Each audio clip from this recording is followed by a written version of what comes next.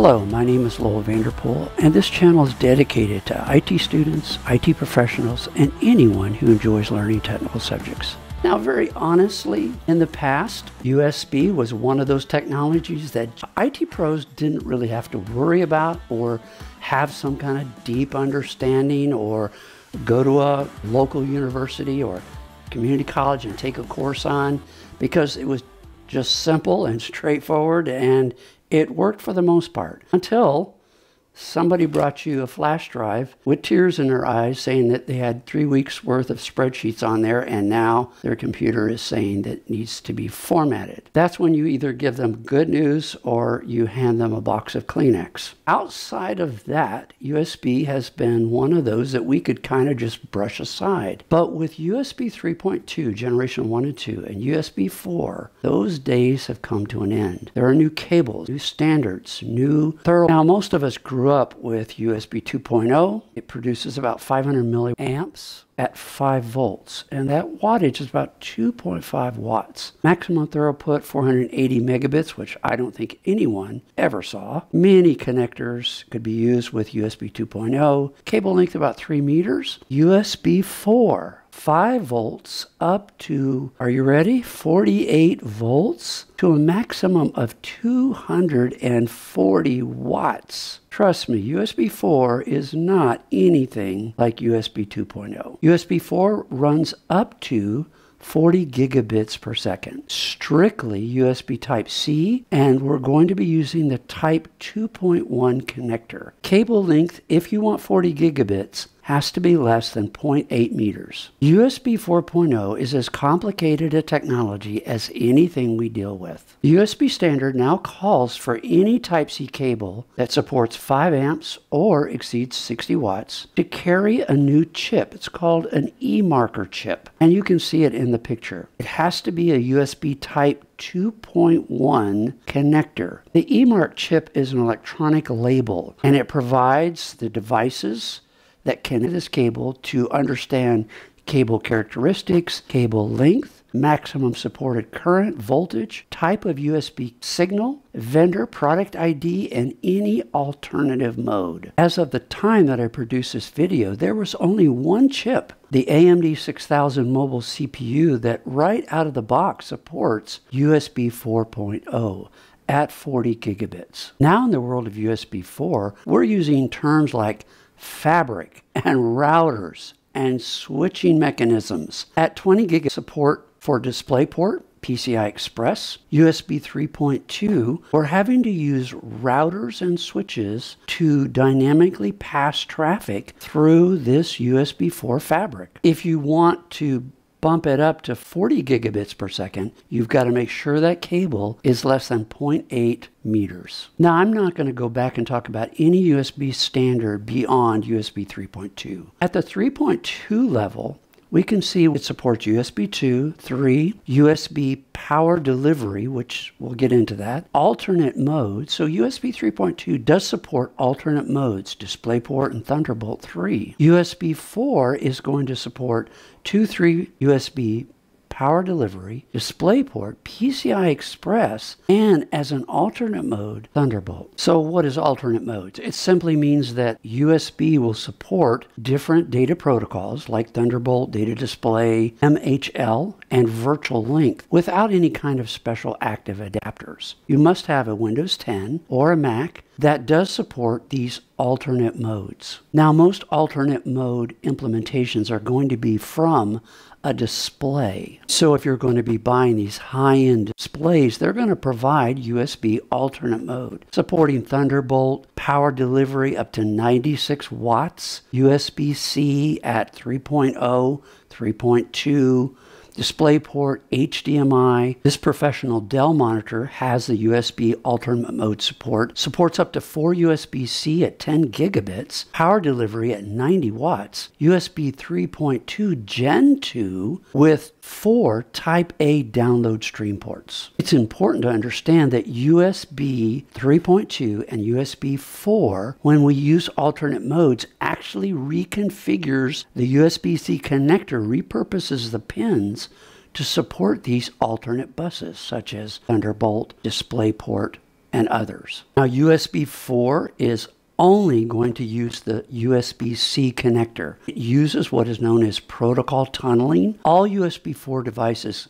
can support between 5 amps and 20 volts. Remember, most of your laptops easily run on 19 volts. So now if you have a display that can power 90 watts, 120 watts, 240 watts, you can easily charge your laptop off the display. It will also support Thunderbolt 3 in alternate mode. In May of 2021, the USB standard introduced the Type 2.1 USB C connector, and that will allow power capacity of cables and connectors from 100 watts to 240 watts, making it possible to power and charge very power hungry devices such as 4K monitors, e bikes, gaming laptops, and on and on. Now, let's talk about the dirty secret of USB. I like USB, it's just reliable, so many things support it, but it's a disappointment. If you've ever bought storage externally and you've used USB to connect to your PCs, you're unhappy. Now you can see from this picture on this slide that with USB's 40 gigabit speed,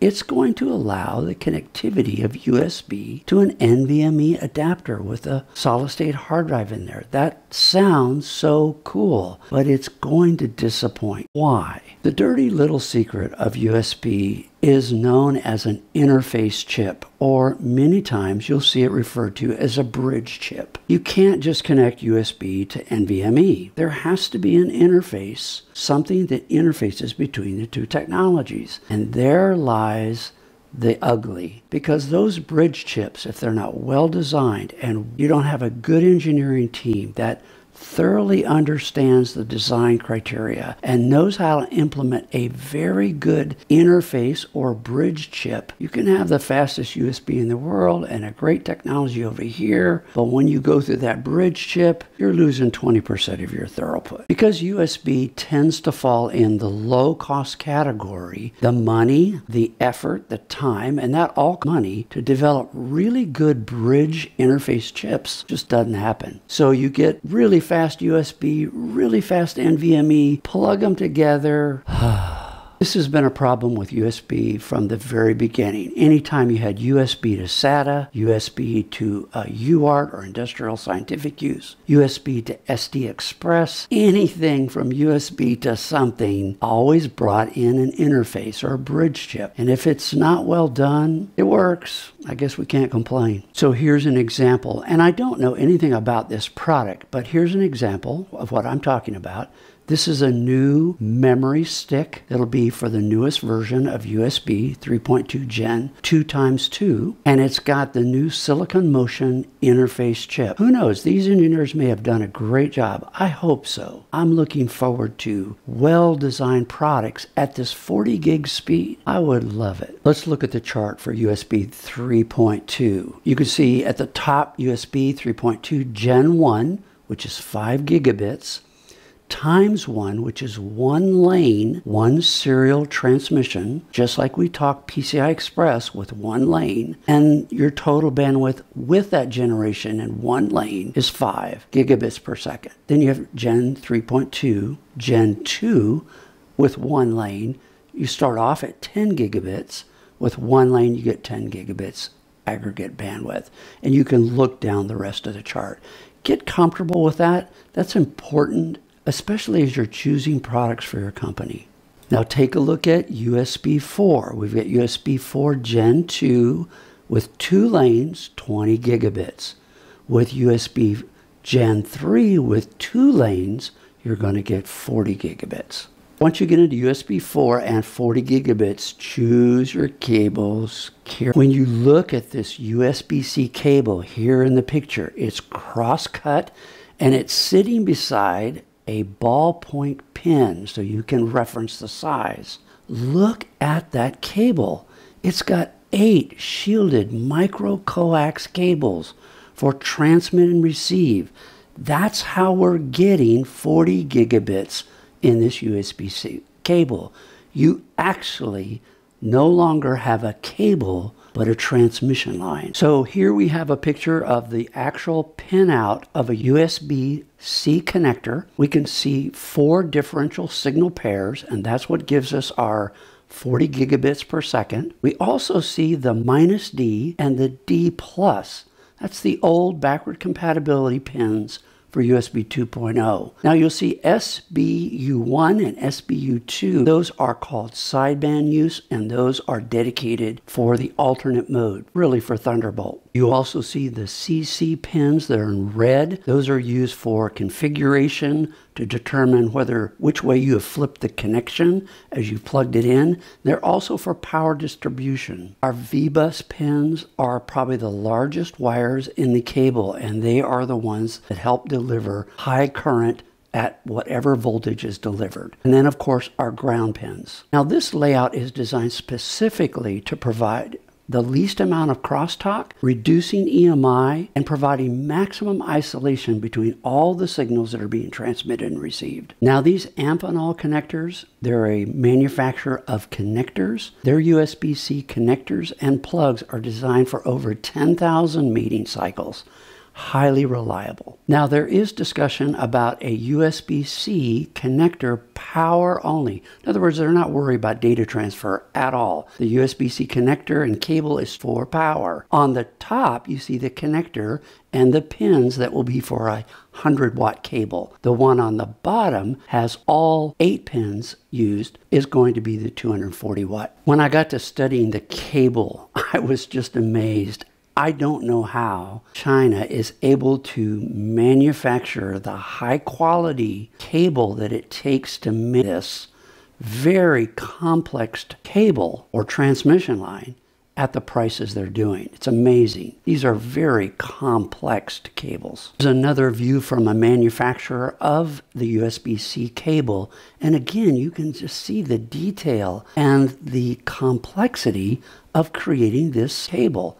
As you're looking at USB-C and higher power, make sure you buy a high quality cable. This one is very well designed. This is the inside of the USB-C jack where you would plug in a USB cable. Notice that the copper lands that come down in the plug are always the ones that are the longest and that connect first are always ground. The same thing is with SATA. If you look at a SATA connector, both power and data, the longest pads, the things that connect first will always be ground. Ground the system, then connect your signals. So what does USB 4 look like to an engineer? It looks like silicon on either end of the device with a transmission line between the two. We used protocol tunneling to take DisplayPort and PCI through a USB 4 fabric. Here's a diagram indicating the USB firmware stack. Now, industrial controls love USB. Now, they connect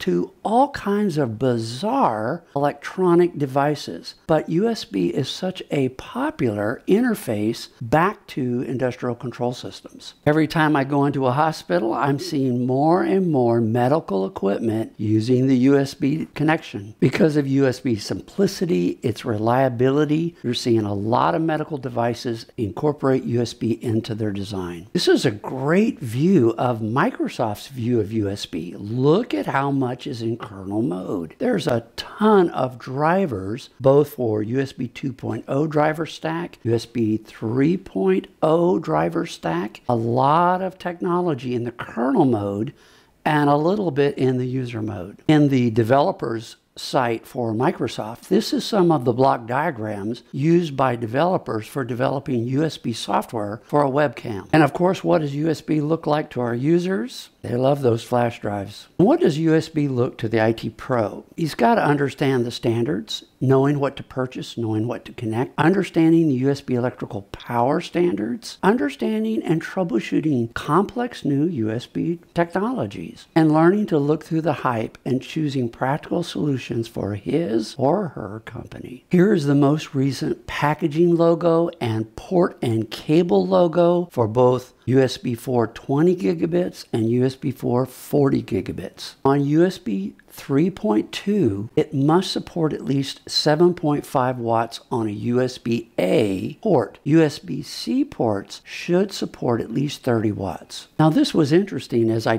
dove into this topic is there's now two categories of charger port. One is called assured capacity where each port is able to deliver its rated label power capacity independent of all other ports. Look at our diagram at the bottom on the left. We have a 30 watt, a 15 watt, and a 15 watt. That port can give 30, 15, and 15 simultaneously assured. Now, the other category is called shared ports. Each port is able to deliver up to its rated labeled power capacity, depending on the remaining available capacity that is shared by a group of multiple ports. Look at the graphic on your right. You see 27 watts, 27 watts, 27 watts. But notice its total is 60. So if I plug in two 27 watt mobile phones, there's only six watts left on that top jack.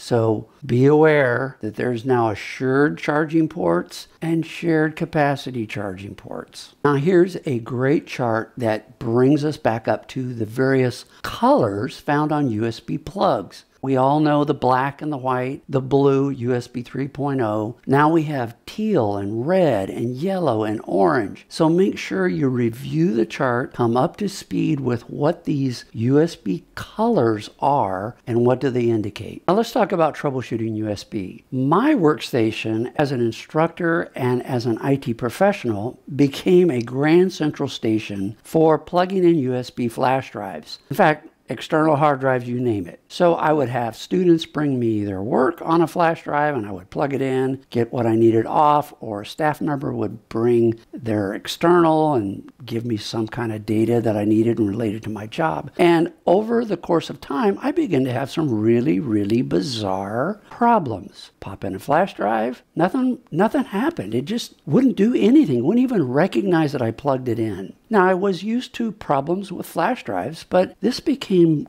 a big problem. And then I found NirSoft's USB View utility. Saved my life. Now, NerfSoft has what's called a USB device view. This simple utility allows you to see all USB devices that you have plugged in, extended information about every device that you've plugged in. It also allows you to uninstall USB devices that you previously used and disconnect USB devices that are currently connected to your computer as well as disable or enable USB devices. It even allows you to do this remotely if you have admin rights. Now everybody doesn't have the problem of being the grand central station of plugging USB devices into like my situation was. But this tool quickly allowed me to go in and find out all USB drivers, edited elements of my registry, and get rid of them since they were only plugged in one time, and clean out my registry and my driver list so that those funky problems went away. Now, this utility is not going to solve everybody's problems, but just for example, if I go to options, I can go ahead and display disconnected devices. And if you scroll down, there they are. So I can go to any one of these and uninstall.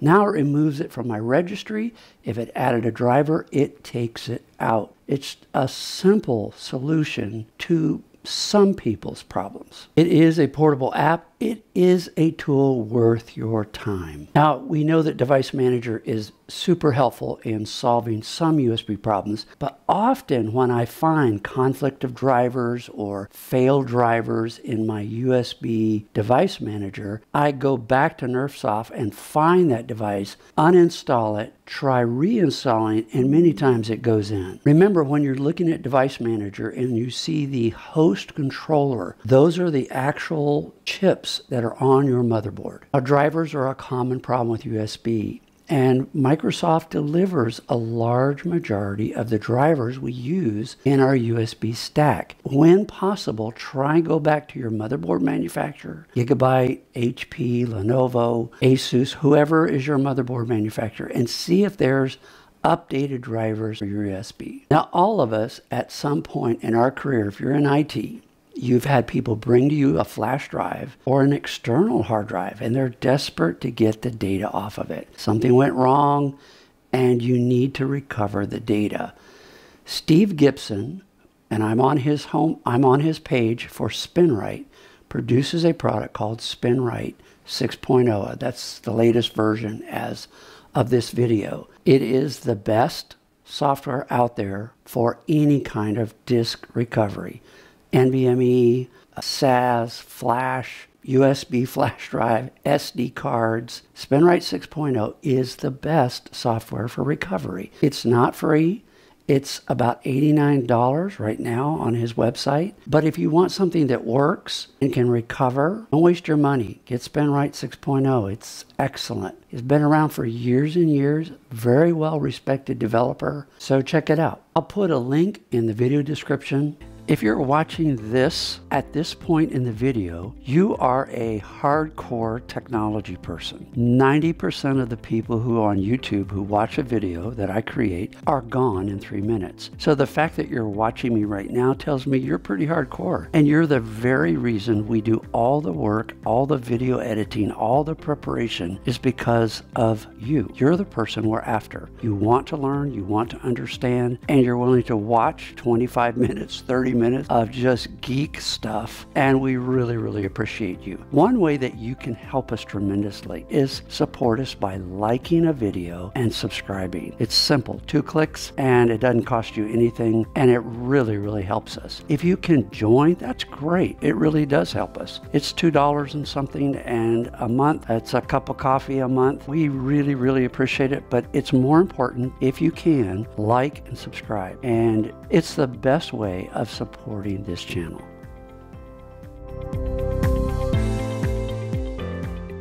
In a professional environment, very often you need USB beyond a cable length of 3 meters. So in the case of the USB 3.2 Gen 1, about 10 gigabits, you're going to have to buy something like this. This is called a fiber active optical cable.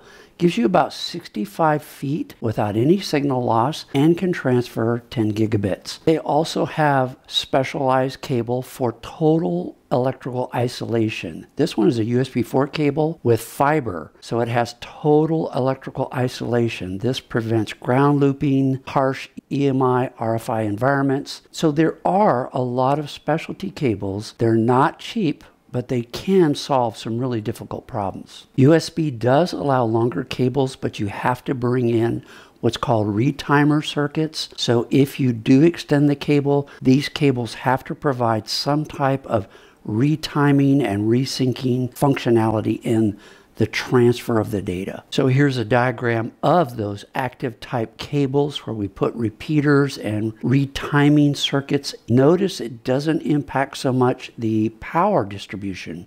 We still can get 30, 60, even 100 watts. Sometimes you need USB extended even over longer distance. This particular product allows you to extend USB over 100 meters over a Cat 6, A, or a 7 unshielded twisted pair. And if you need that long haul, here's a device that takes USB 3.2 Gen 2 over one kilometer. Now, every weekend I go riding with my engineering buddy, and on the bike trail, he turned to me and said, Why don't you buy one of those USB multimeters? And I looked at him and I said, Why would I ever want to buy a USB multimeter? So I got out his phone at the next stop and went on Amazon and showed me all these cool new USB multimeters. So I bought one and I started playing with it. And I'm going to show you why you may want to buy one of these USB multimeters. So keep your eyes open for our upcoming video on USB testers.